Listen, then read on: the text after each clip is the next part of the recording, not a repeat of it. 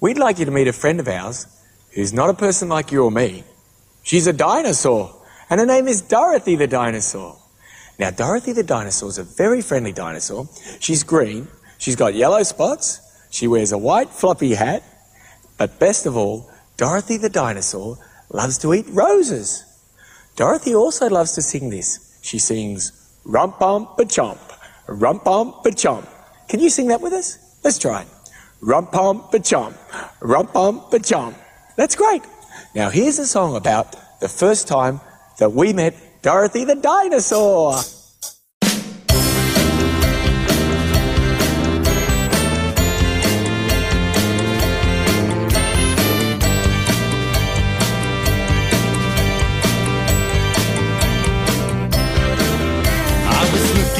My window late the other night. She was sitting in the garden and gave me such a fright.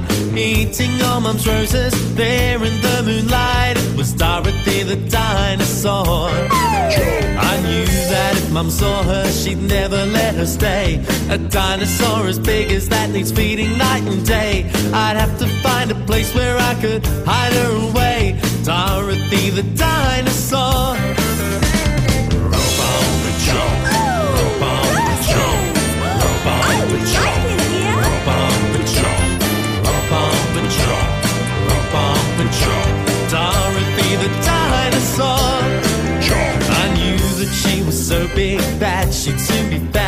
mother called the dog catcher.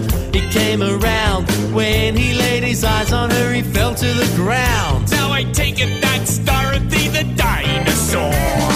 Up on the jump, up on the jump, up on the jump, up on the jump, up on the jump, up on the jump.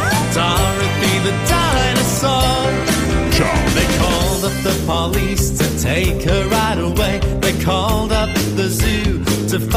place to stay. I said they couldn't take her. I said, no way, that's Dorothy the dinosaur. That's me!